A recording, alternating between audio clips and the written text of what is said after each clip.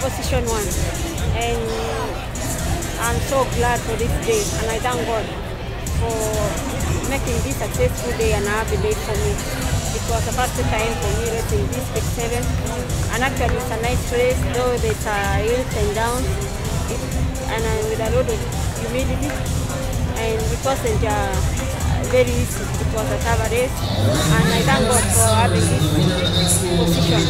I'm so glad also appreciate the organizers for this Bix seven race. They are wonderful people and I thank and I thank them so much.